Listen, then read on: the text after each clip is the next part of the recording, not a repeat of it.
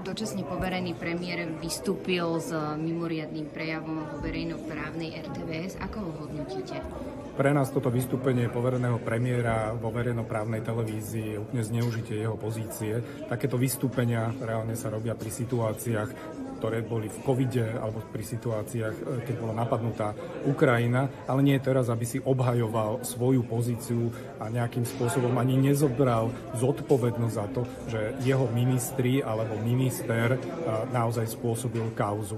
Je to veľmi taký paradox, že demokrati pomaly ešte ani nevznikli a už majú nejakú korupčnú kauzu a pán premiér by mal zobrať za to zodpovednosť. Preto si myslím, že je úplne kľúčové, aby pani prezidentka v najbližšom období rozhodla a jej rozhodnutie budeme akceptovať. Ak to rozhodnutie bude, e, poveren, bude úradnícka vláda, tak tejto úradníckej vláde my vyslovíme dôveru. Asi budeme jediná strana v parlamente, ale myslíme si, že takto je to správne. Vy ste vlastne aj teraz už naznačili, že pán premiér to hovoril možno z pozície podľa vás tých demokratov, nie ako štátnik, ústavný činiteľ?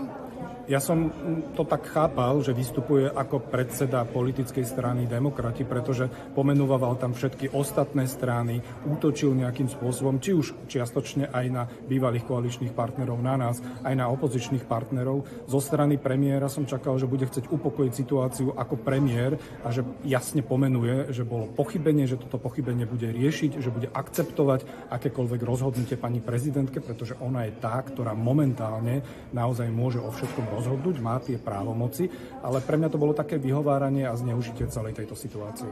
Teraz sa už nemusí ospravedlňovať, pretože mlieko už je rozliaté a ten chaos uh, tu je a spôsobil ho aj pán premiér, poverený premiér Heger, pretože keby bol ráznejší, keby si uvedomoval všetky veci, ktoré sme mu hovorili a on ich zažíval, tak mohol v auguste minulého roku urobiť rozhodnutie a mohli sme dovládnuť do normálneho termínu a nemuseli sme zažívať uh, toto, čo zažívame. Pozrite sa na ten chaos parlamente, veď to je ako trhovisko zo zlého filmu, všetci tu predkladajú rôzne populistické návrhy, všetci otrhnutí z reťaze, predkladajú návrhy, ktoré nie, že pomáhajú ľuďom, ale oni si vyberú určitú skupinu ľudí, určitú menšinu a predkladajú návrhy zákonov tak, aby im znepríjemnili život. Veď ja si neviem predstaviť, ako toto vydržíme ešte nasledujúce obdobie a preto si myslím, že pani prezidentka by mala rozhodnúť. Nepriniesla by úradnícka vláda ale ešte väčší chaos?